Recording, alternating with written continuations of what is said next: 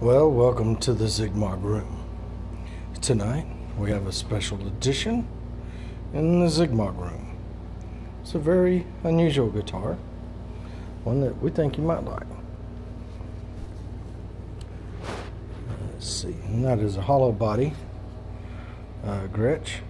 It's very original, pristine actually. Um, not played much, hardly ever at all. I see no fingerprints on the tuning pegs. Means it was tuned once and been in this case for who knows how long. Uh, the unique thing is, is this one has a special feature. Now, I'm not sure. Uh, where is it? Well,